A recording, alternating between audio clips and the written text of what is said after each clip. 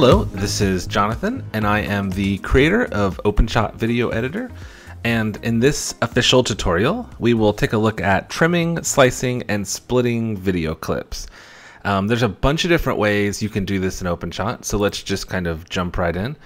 I'm going to drag three files into OpenShot, and let's start with Big Buck Bunny's trailer.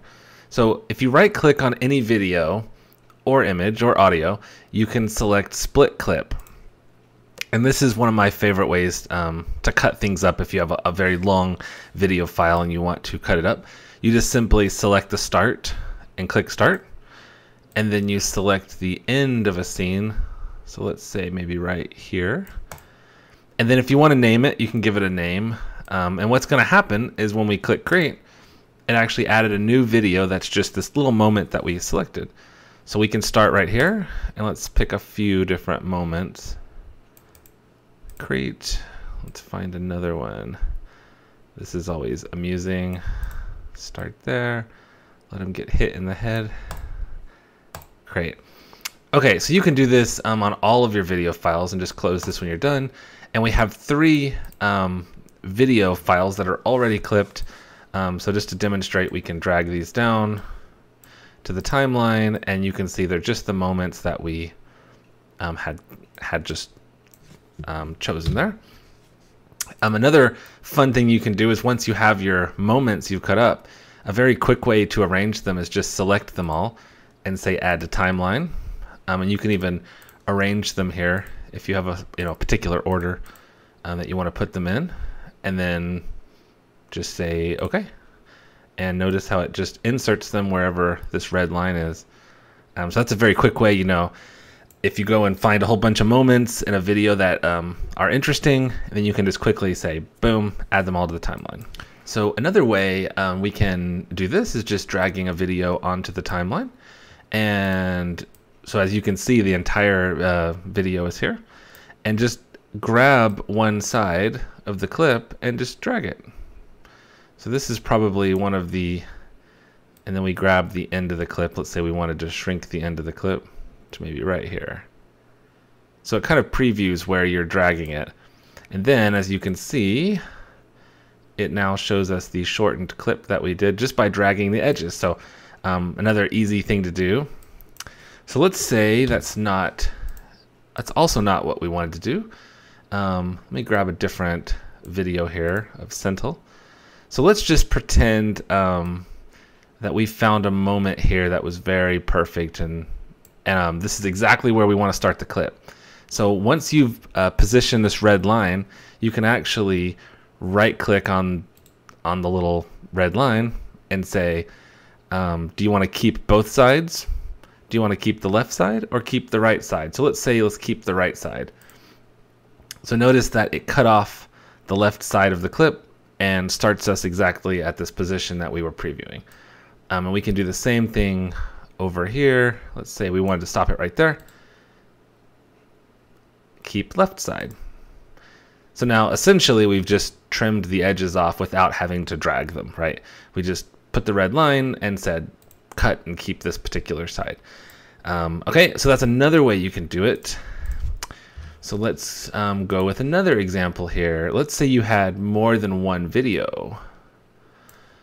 And let's put two different videos here. And you want them to both start at this particular moment. Now, we're not seeing the clip behind. We're seeing the one on top. But let's just pretend that this is where we want all of our clips all the way down the timeline to start.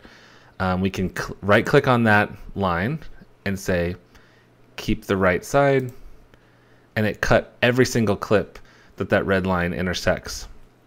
So again, a really fast way, especially at the um, the beginning and end of videos where you want to, you know, you have a lot lots of different videos and they're not quite all lined up, and you just want to chop them at a certain spot. So um, another very useful thing to do. So let's say you had, um, let's say in this example, we only want to cut the top clip not the bottom clip, and we want to keep just the left side.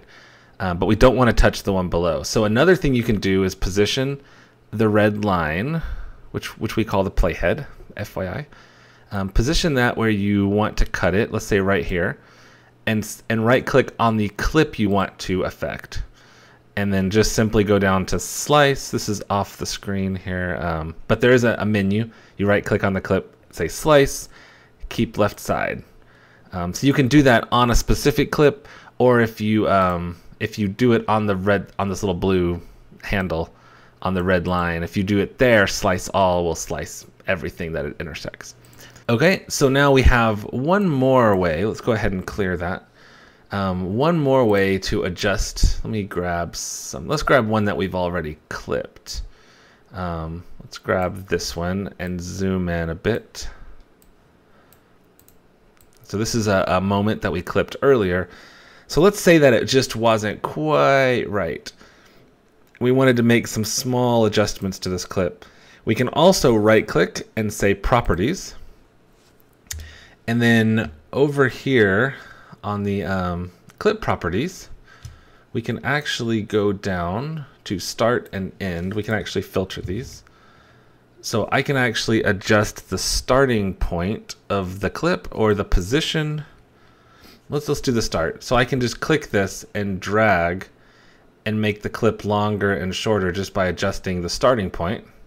And I can do the same with the end of the clip. So I can adjust the end of the clip just by clicking and dragging in this in this gray area.